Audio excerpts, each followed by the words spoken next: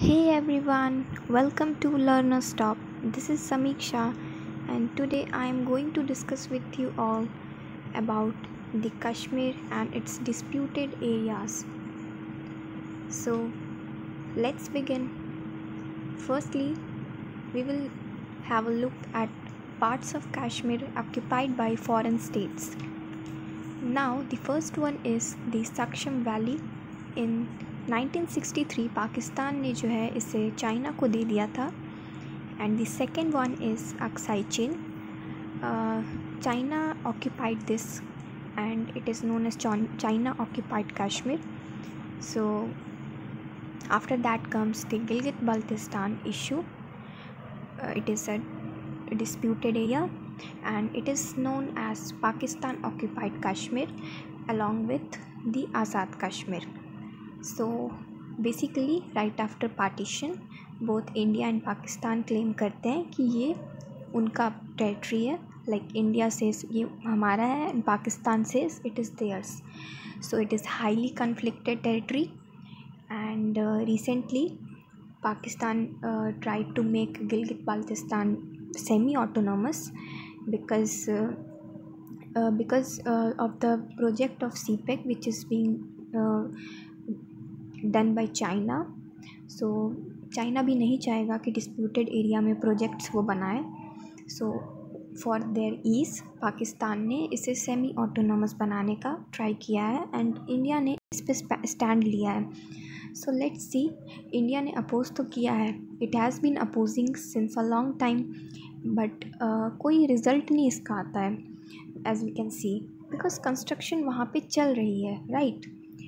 जो सी की कंस्ट्रक्शन है it is already going on so I think India needs to take a major stand rather than just saying and just opposing okay so this is the issue and after that we will come to India Pakistan map so you can see here यहाँ पे जो India Pakistan का map है, इसमें आप देख सकते हैं कि on the western side is Pakistan occupied Kashmir and जो जिसका सदर्न पार्ट जो है वो आज़ाद कश्मीर भी कहलाता है।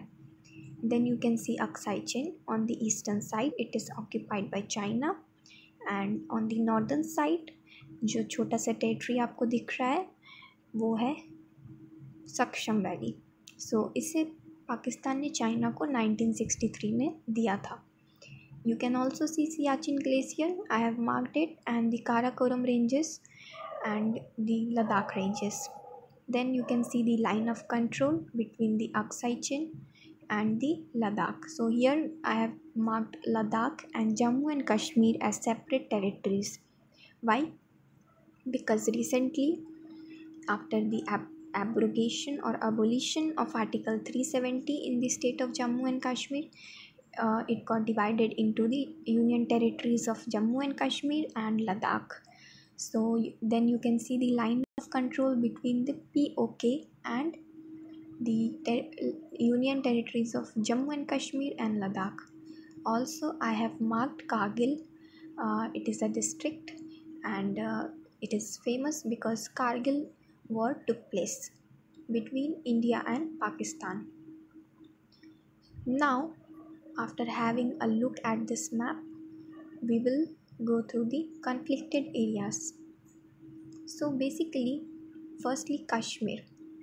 It is battle for not for land but for identities. Okay, so I will tell you about this. Why is it so? Uh, जब हम डेमोग्राफिक्स देखते हैं तो seventy percent of the population जो है वो इंडिया का इंडिया के पास है, कश्मीर का। एंड कश्मीर क्यों है battle for identities because Kashmir में जो है मुस्लिम मेजॉरिटी है।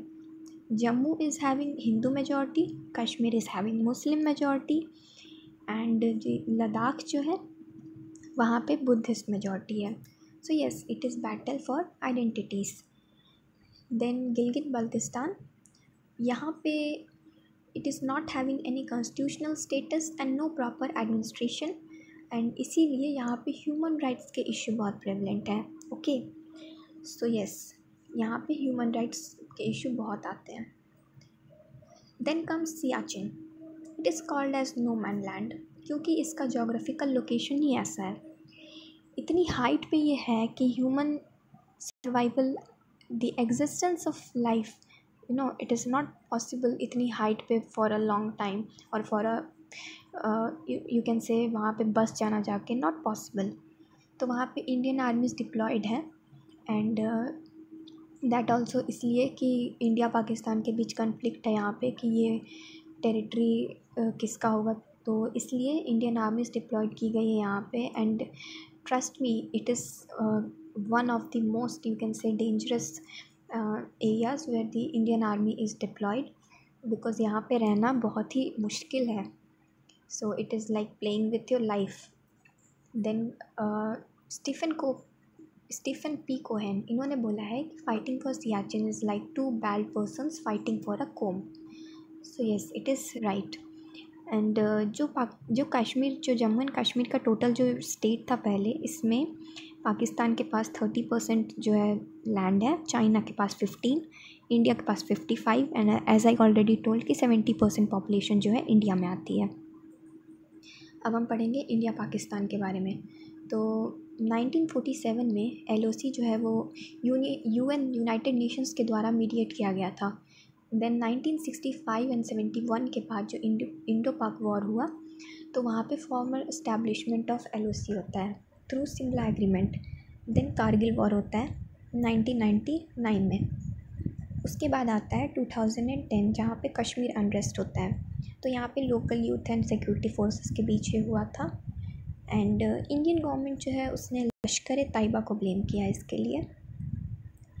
Okay after that we will have a look at 2016 the killing of Hizbul Hizbul Mujahideen militant so Burhan Burhan Wani ये इंडियन सिक्योरिटी फोर्सेस द्वारा मारे गए थे। आफ्टर दैट 2019 में पुलवामा पुलवामा अटैक होता है। ये आप कह लीजिए कि फोर्टीन इंडियन सोल्जर्स इसमें मारे गए थे। And it is basically you can say suicide bomber killing so it was led by separatist terrorist group of Kashmir named as Jaish e Mohammad okay then comes August twenty two thousand and nine nineteen sorry two thousand and nineteen तो यहाँ पे क्या होता है कि abolition of article three seventy तो India ने बहुत बड़ा स्टैंड लिया। इंडिया ने जो है state of Jammu and Kashmir में एबॉलिश किया आर्टिकल थ्री सेवेंटी को which is giving a major of autonomy to Muslim majority in Himalayan region तो इससे जो है मुस्लिम मेजॉरिटी को जो है ऑटोनॉमी मिलती है। एंड उसके बाद ये भी हुआ कि स्टेट को डिवाइड कर दिया गया था in the union territory of Jammu and Kashmir and Ladakh तो दो यूनियन टेरिटरीज बना दिए गए थे। ओके देन इसमें पाकिस्तान ने स्टैंड लिया। पाकिस्तान ने अपील की थी इंटरनेशनल कोर्ट ऑफ़ जस्टिस में जाके कि this is wrong and please help us resolve this please help us solve this issue but उन्होंने नहीं सुना। because India took India took its stand by saying that it is you know two party dispute and uh, it doesn't need any third party mediator so this is the reason कि international uh, organisations को भी लगा कि India is right and they supported India so यही एक reason है कि Pakistan every now and then attacks करते रहता है and they keep on you can say terrorism को बढ़ाते रहना। So which is not good so let see कब तक चलता है ये। It is a very important issue so yes next comes scholars view Indian forces have committed many human rights abuses and acts of terror against Kashmiri civilian population ये कुछ international ऑर्गेनाइजे international scholars का मानना है okay and few organisation also like you can say O I C so organisation of Islamic cooperation they are always against India because of the Kashmir issue because they are in support of Pakistan then comes Amnesty International accuses Indian government of refusing to prosecute perpetrators of abuse in the region so perpetrators का meaning है जो people who carry harmful और illegal acts ना यहाँ पे Amnesty international क्या है? थोड़ा सा इसके बारे में मैं आपको बता दूँ। So it is non governmental organisation and it is head headquartered in United Kingdom and it focuses on human rights okay so it it has got more than eight million members और supporters you can say around the world okay then Andrew Whitehead इन्होंने बोला है कि Kashmiris view, Kashmir as having been ruled by their own in 1586 since then they believe it has been ruled by mughals, afghans, sikhs, dogras and lately Indian government. लेकिन इनका कहना है कि जो ये कश्मीरी का व्यू है, कश्मीर के ऊपर it is not part it is not fully true okay he says it is partly true according to him so yes next comes Shashi Tharoor okay so former diplomat and he is very intellectual person uh, he is one of my personal favorite and uh, i highly admire him of his knowledge so i think uh, you must read book pax indica it is written by him on india and the issue with Pakistan. So it is a deep analysis. Uh, then he calls Pakistan as brother enemy. Okay so so, ये इनका कहना था कि पाकिस्तान जो है brother enemy है। So this is it guys I have completed this topic and I hope you all understood it if you have any queries then please comment it in the comment section and finally thank you so much for watching and do like and subscribe and also please share it with everyone thank you so much